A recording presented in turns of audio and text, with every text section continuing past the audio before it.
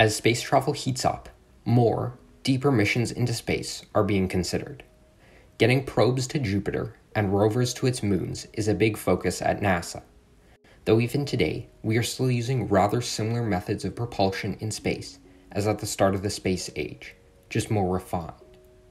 Most newer types of space propulsion either rely on massive scientific breakthroughs to be feasible, such as antimatter propulsion, or suffer from terribly low thrust capabilities, such as solar sails.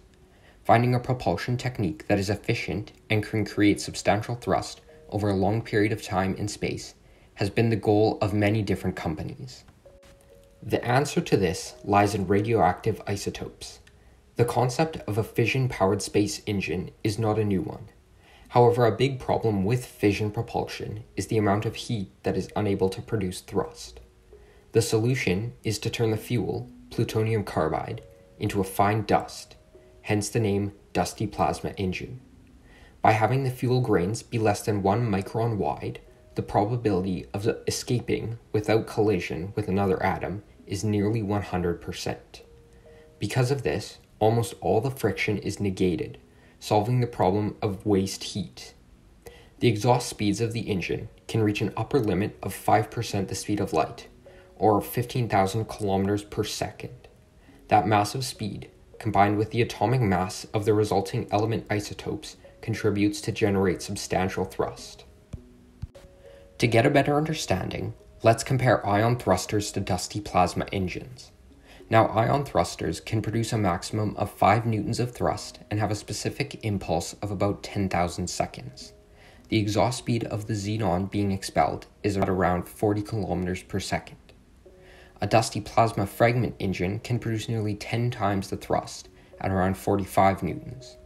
The specific impulse is also much larger, at around 100,000 seconds. The upper limit of the exhaust speeds is 15,000 kilometers per second, but we will go with a more realistic estimate of around 6,000 kilometers per second. It is quite clear that with today's technologies, dusty plasma fragment engines are the more powerful and efficient choice though even 10 times the thrust of an ion engine is not very much. However, there is a plan to add an afterburner of sorts, which is expected to create 450 newtons of thrust, but drops the specific impulse by a factor of 10. With that in mind, a trip from Earth to Jupiter and back would only require about 600 kilograms of nuclear fuel and 90,000 kilograms of hydrogen. The radioactive powder is slowly siphoned into the fission reactor, where it meets a plasma ball held in place by electromagnetic confinement coils. This allows the reaction to be sustained and controlled over a long period of time. The particles that do escape the confinement coils are slingshotted out at a few percent the speed of light. However, this engine also produces the electricity for the ship. It does this by separating some electrons from the fission products, ripping them off as they travel out of the engine.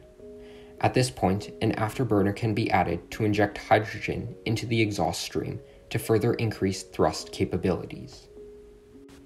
Now, being powered on radioactive material, there certainly are some downsides. First and foremost, a large concern is the amount of radioactive material that will be left in Earth's atmosphere when the engine is activated.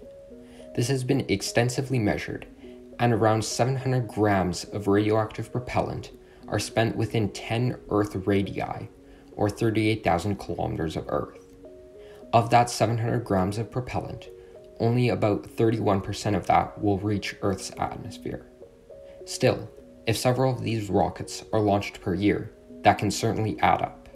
A possible fix would be to start the fission reactor outside of the 38,000 kilometer area, but that could sacrifice precious acceleration time, so there is a trade off. While there certainly are downsides to dusty plasma rocket engines, the benefits to space travel would be massive. Deeper and faster missions into space would be possible, and research of the outer planets in our solar system would become much more feasible. It certainly will be interesting to see where the future of space travel will lead us, even if it does not involve this type of engine. Until then, I hope you enjoyed the video. If you did, please consider subscribing, and I will see you all soon with a brand new video.